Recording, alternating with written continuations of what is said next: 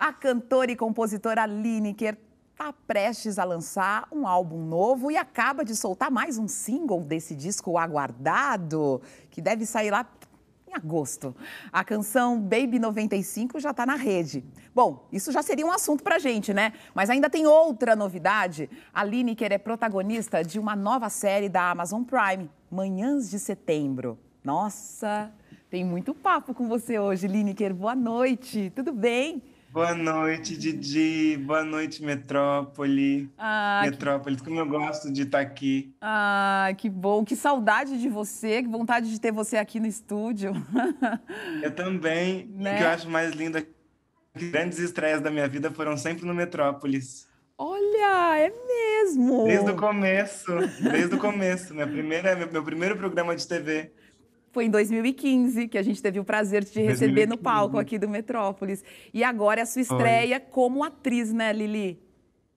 Como uh. atriz, Didi. Olha só, vamos mostrar um pouquinho para quem ainda não está familiarizado com Lili agora, em cena. Na série, ela é Cassandra. Dá uma olhada. O que, que você está fazendo aqui?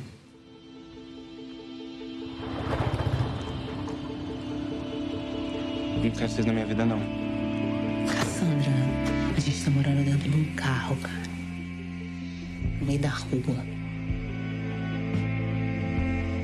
O que, que você faria? Meu bem, eu pegava o primeiro avião que tinha que ir embora. Sumia. Eu não posso deixar que esse moleque que tá chegando agora destrua tudo que eu tô construindo. Você é muito bonita, pai. Olha aí, Manhãs de Setembro, que traz uma história, um argumento muito, muito potente, porque é uma mulher trans que passa por tantas dificuldades na vida e ela consegue em algum momento ali se encontrar, começa a namorar, começa a entender quem é ela mesma e aí do passado chega esse filho que ela não sabia que existia e que chega para reivindicar afeto, um afeto que ela também reivindica. Então é, é uma história muito, muito forte. Como é que você monta essa Cassandra que carrega essa história tão, tão, tão forte, Lineker? A Cassandra é uma personagem que me abriu muitos parâmetros de entender como cada vez mais humanizar a nossa trajetória enquanto pessoas é, trans no Brasil que aniquila, mata e violenta tantas das trajetórias como as nossas e como a partir de tudo isso eu conseguiria humanizar essa personagem de forma em que ela não fosse só uma travesti, mas que ela fosse humana, que ela fosse uma mulher, que ela fosse um indivíduo que também tem direito a acesso a respeito, a trabalho.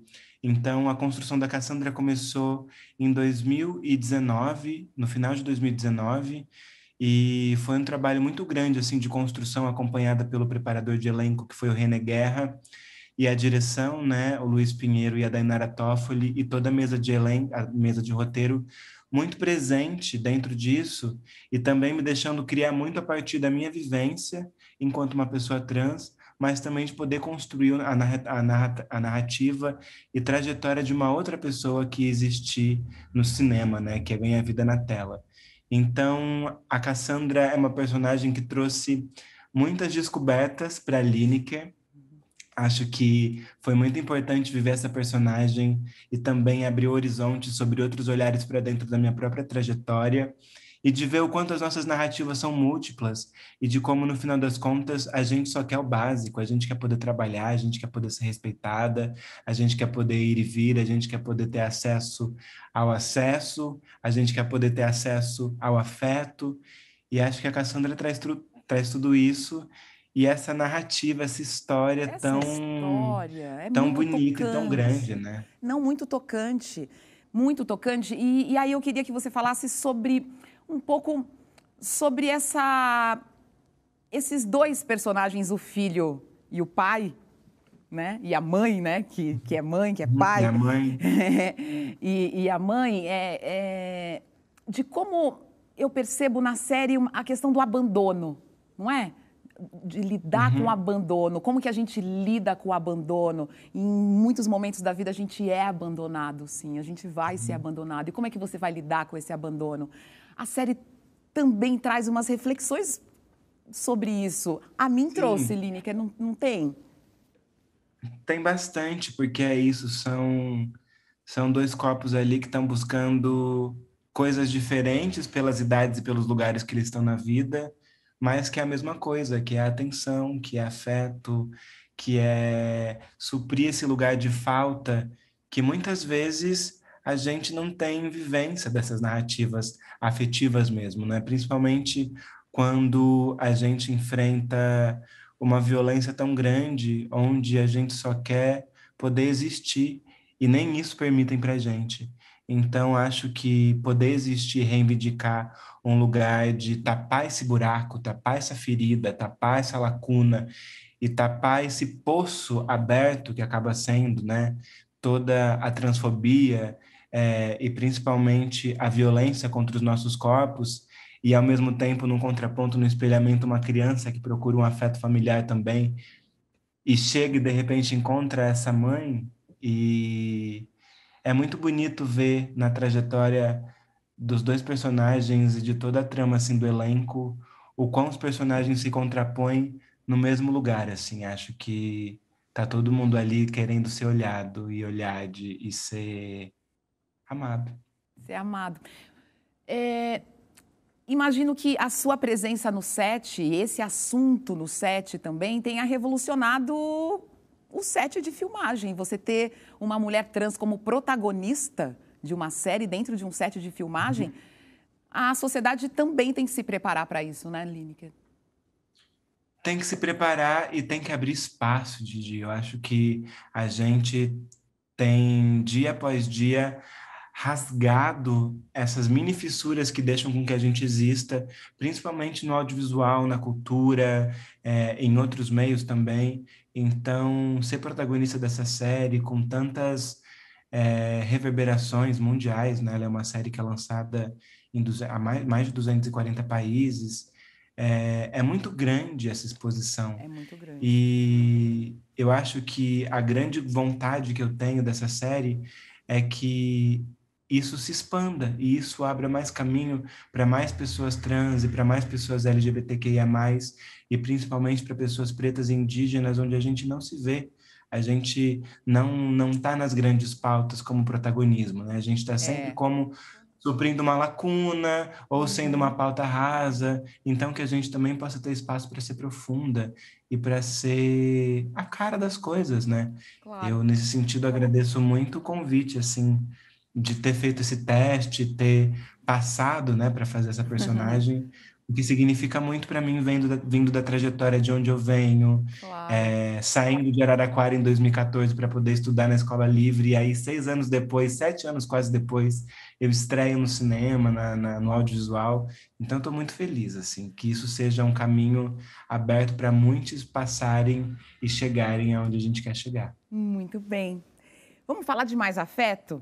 Vamos ouvir então a Lineker.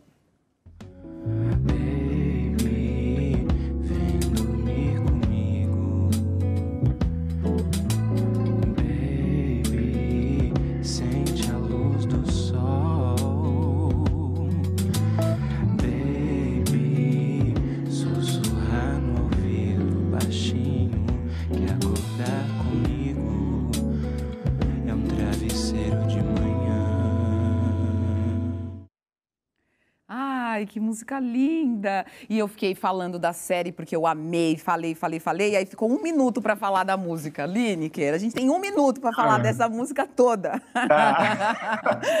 Ai, é, chega mais um single desse álbum e ele já dá pra gente ali o caminho da sonoridade, o que você quer mostrar pra gente, já é um caminho